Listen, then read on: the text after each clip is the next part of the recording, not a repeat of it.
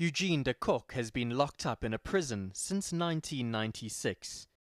He's serving a life sentence for masterminding the assassinations of suspected anti apartheid activists. Prime Evil was a name given to me. Uh, I don't deserve it. Uh, all the prime evils is walking outside there. You know. De Kock was in charge of a police death squad at Vlakplaas outside Pretoria during the 1980s.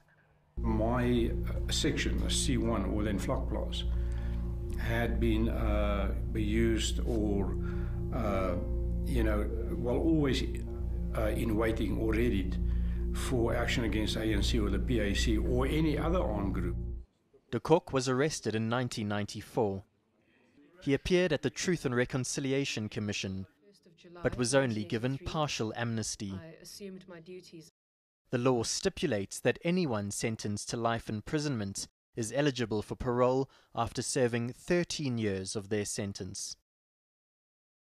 Know more about your world. ENCA.com.